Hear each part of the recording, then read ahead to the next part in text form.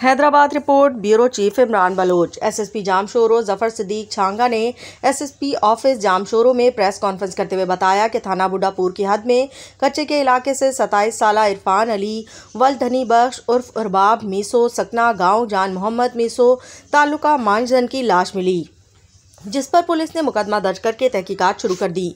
मुकदमे की तहकीकात और डिजिटल इन्वेस्टिगेशन सेल की मदद से एसएचओ बुडापुर मुमताज़ थेबो की सरबराही में बुडापुर पुलिस की टीम ने मख्फी इतला पर कार्रवाई करते हुए पीर डिनो मेसो की पानी वाली मशीन पर छापा मारकर कत्ल में मुलविस दो मुलजमान तुफैल अहमद वल्द फतह मोहम्मद मेसो और रहमत उर्फ़ गुलजमान वल्द अबूबकर मेसो को गिरफ़्तार करके मुलजमान के कब्जे से कत्ल में इस्तेमाल की गई क्लाशन फूफ बमा छः राउंड समेत बरामद कर ली गई। गई है।